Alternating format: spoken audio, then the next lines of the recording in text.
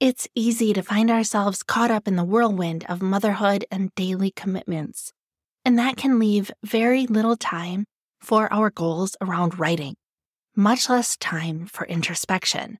But if we took a moment to pause and reflect on what it is that we truly desire for ourselves, imagine what could be possible. This week's journal prompt encourages just that. Welcome to Mom Writes First, the podcast that helps busy moms reach their writing goals. I'm Jen Larimore. I'm a mom of five, a lawyer turned life coach, and I'm writing my very first book. I want to help you reach your writing goals too. If you're a mom who wants to jumpstart her journey as a writer, then you have to head over to my website, momfirstcoaching.com and take the free quiz there. That quiz is going to show you how to take your mom's superpower. You know, that characteristic that makes you an absolutely incredible mom to your kids, and then leverage that characteristic so that you can reach your writing goals. Again, the website is momfirstcoaching.com forward slash quiz. Now, on to today's episode. Hello, my friends. Welcome. It's Jen. Today, I have a journal prompt to share with you. It is specifically designed to help you to reflect on what it is that you really truly want most of all this year and how to create it. It's inspired by my birthday. My birthday just happened. I turned 43 years old, and I have to tell you, when I was 23 or even 33, I never, ever could have imagined or pictured my life like this. I am so grateful for this life. I feel so lucky and blessed. I feel like so many of my biggest dreams have come true. And I'm so grateful that I get to be here on this planet with you and have this beautiful, amazing life. Turning 43 is no joke. And seriously, I want you to know if you have not yet hit your 40s, please know it is absolutely fabulous. It is fabulous. The 40s are fabulous. I love, love, love being in my 40s. My birthday this year was very balanced. It was special. My kids made me a cake. We had delicious Thai food for dinner, and I got really special presents. And I had overall just a really fabulous day. As I do, I take the day off of work on my birthday. And so it meant, of course, that I had all these plans for how I wanted to spend the day. Extra time with the people I love the most, plus some definitely needed R&R for me. Rest and relaxation, my friends. So necessary. Well, as it so often does, Mother Nature intervened, and I ended up having the whole day with my kids because it was a snow day. How awesome is that? On my birthday to get a snow day. And it really, truly was a great day. My kids were so excited about it. It was going really well. It was super, super fun until people started throwing up. I am not even kidding. Three of my kids, my three youngest kids, came down with the stomach flu on my birthday. It was something. It was definitely something.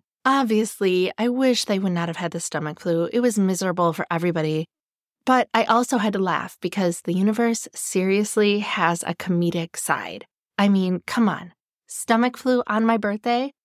This balance of fun and mess is really super present in my life right now. And I don't know if it's just this year or if it's always been this way and I'm kind of just noticing it now, but it's definitely there and it definitely is very fun one minute and kind of messy the next. And that's just where I am on this little like roller coaster of life right now. A couple years ago, that might have really freaked me out. At this point, I definitely can accept it. And I know it's just part of the process this year of embodying who I really want to be most as a mom and as a writer. While I was snuggling with my sick kids, I realized just how freaking grateful I am to be here for this 43rd trip around the sun. I know that I'm lucky to be here. I know I am lucky to have had this life. I've worked for it for sure. Definitely. I have put in the hours. But I am lucky that I've had the opportunities. I've had some people in my life who haven't made it to this year, people who passed away unexpectedly. And I have friends right now who I'm sure are worried about whether they are going to make it to their next birthday or their next five birthdays.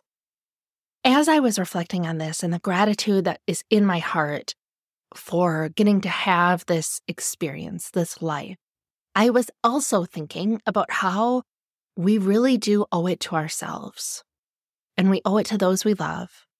And we owe it to those who don't get the opportunity to be here, to go out into this world and truly live a life that is intentional and joyful and aligned with our biggest, biggest dreams.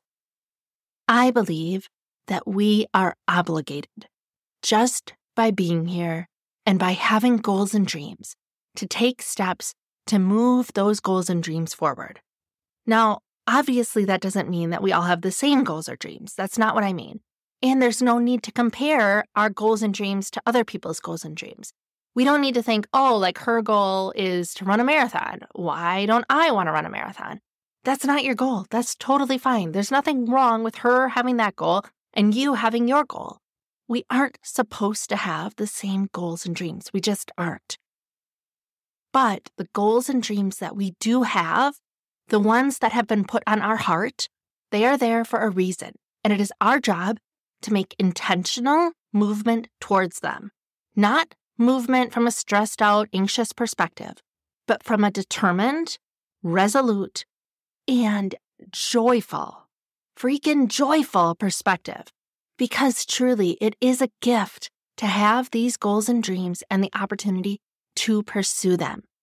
And it's with that mindset that I bring you this journal prompt for this week. Are you ready? Here we go.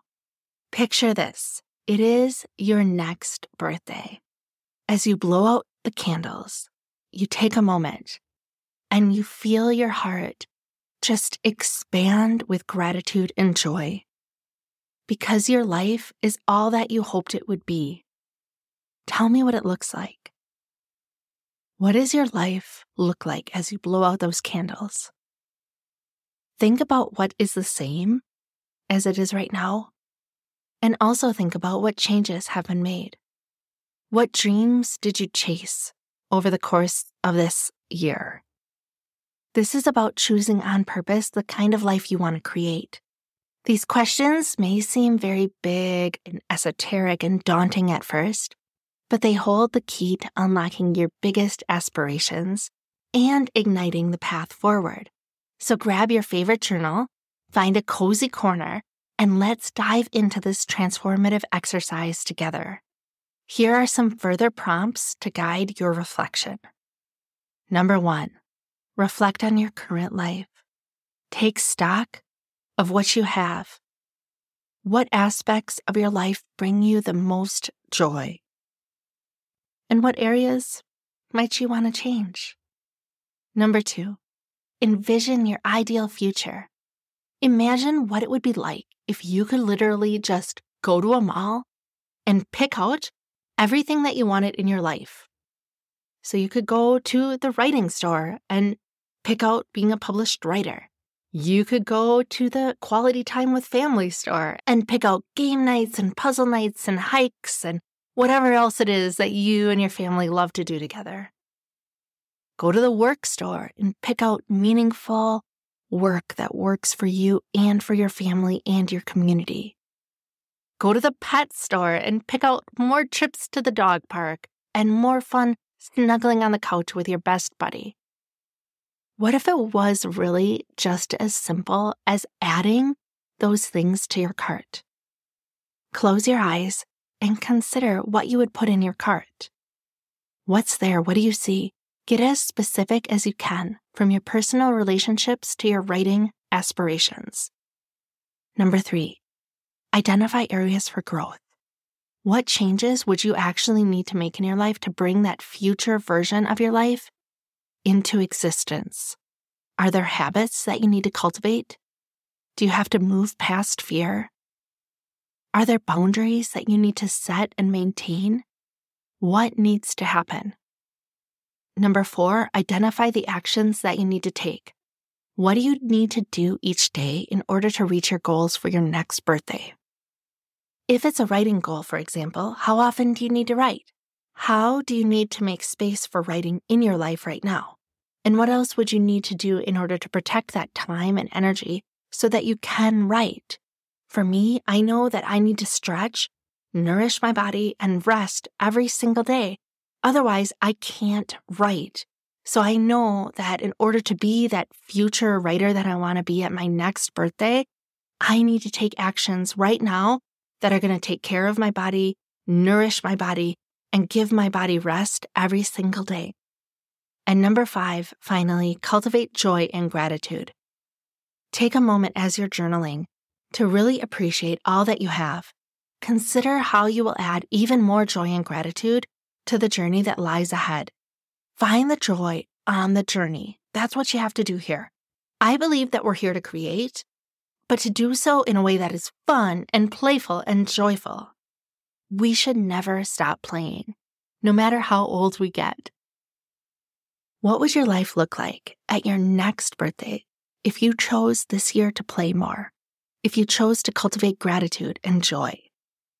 My friends, this for me is about embodying who I really truly want to be and doing so from a place that is joyful and connected and thankful to be a human on this planet right now.